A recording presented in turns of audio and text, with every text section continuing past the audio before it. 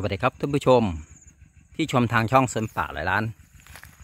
วันนี้ผมพาท่านผู้ชม มาดูต้นไม้8ปีนะครับ ที่ผมปลูกไว้เป็นอุโมงค์ต้นไม้นะครับ อันนี้จะเป็นซอยเล็กนะครับ อันนี้ซอยเล็ก เป็นอุโมงค์ต้นไม้นะครับ ผมพาไปดูครับ อันนี้เป็นไม้แดงนะครับ8ปีไม่ไงครับไม้แดงอันนี้ไม้แดง8ปีนะครับ ไม้แดง8ปีไม้อ่า8ปีทั้งหมดครับพวกนี้นะครับเป็นไม้8ปีนี่ไม้แดงนะครับ นี่เป็นอุโมงค์ต้นไม้ที่ผมปลูกไว้นะครับ ก็จะมีก็จะมีไม้แดง มีไม้พยุง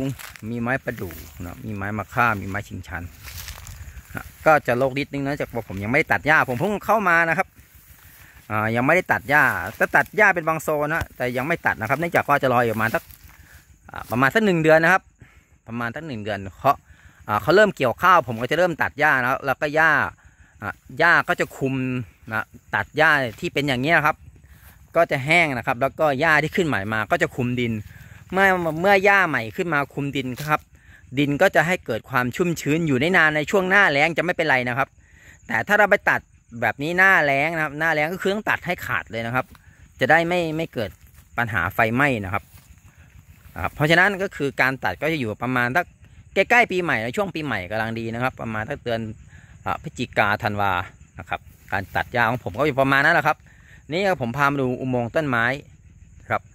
อุโมงค์ต้นไม้นี่เป็นเป็นไม้แดงนะครับอันนี้เป็นไม้มะฮอกกานีนะครับนี่ครับ ก็โตอยู่ครับโตไม่โตก็ต้นใหญ่ลำไม้ พวกนี้ก็จะเป็นไม้แดงต้นตรงใหญ่นะครับนี่ครับ ก็โอ้ไม่มิดแล้วครับ ไม้แปดปีนะครับไม้แปดปีก็มีพยุงนะครับมีไม้แดงต้นใหญ่ แล้วก็ตรงอะส่วนใหญ่แล้วจะตรงล่มล่มลื่นครับก่อนหน้านี้ผมร้อนอย่างที่ผมเคยลงคลิปไปก่อนก่อนหน้าคือผมทำมาจากนานะครับให้เป็นป่านะครับ จากนาให้เป็นป่า ก็เลยได้มาลักษณะแบบนี้นะครับ อันนี้ซอยตันนะครับ เดี๋ยวผมพาไปดูถนนใหญ่ ถนนใหญ่นั้นผมปลูกระยะอยู่ที่สามคูณสามกันบนถนนเนี่ยผมจะปลูกสามเมตรคูณสามเมตรเนี่ยครับระหว่างต้นเนี่ยครับนี่ต้นพยุง ต้นพยุงนะครับแล้วก็ต้นไม้แดงนะครับ อันนี้คือสามเมตรนะครับเราก็จะมาต้นนี้สามเมตรนะครับ ต้นโตนะครับเดี๋ยวผมพาไปดูต้นก็ได้ครับใครอยากเห็นว่าแปดปีขนาดไหน เดี๋ยวเวลาตัดหญ้าผมจะดูอีกทีนะครับดูครับ ดูกำปั้นกับมือผมเนี่ยผมกำนี่ครับ ไม้แปดปีนะครับโตใหญ่ อันนี้เป็นซอยแต่ผมยังไม่ได้ทำสะพานข้ามนะครับ ครับ ยิ่งยิ่งข้างในยิ่งใหญ่นะยิ่งทึบนะก็จะมีสักก็มีสักมีสักพยุงอันนั้นเป็นป่าป่าใหญ่นะครับคือนั้นเป็นป่าใหญ่เดี๋ยวผมหลังผมถ่ายให้กันเดี๋ยวผมพามาดูนะส่วนใหญ่แล้วพยุงที่นี่จะค่อนข้างจะล้มอย่างที่ผมบอกแล้วผมลงคลิปไปครั้งก่อนคืออ่าหน้าหน้าแล้งเวลาฝนมาแล้วลมดินที่นี่จะเป็นดินร่วนปนทรายและลูกหลังนะครับทำให้เขาล้มได้ง่ายครับ ยกเว้นพวกไม้แดงพวกไม้ประดู่ครับนะครับ ดูต้นนะใบไหนต้นใหญ่ก็ใหญ่หน้าดูนะครับ อันนี้ฟางครับผมซื้อฟางมาไว้ไว้จะทำปุ๋ยนะครับไปใส่ต้นไม้นี่ครับคืออุโมงค์ต้นไม้นี่ครับอุโมงค์ต้นไม้พาไปดูครับเดี๋ยวออกไปดูด้านนอกนะครับ อุโมงค์ต้นไม้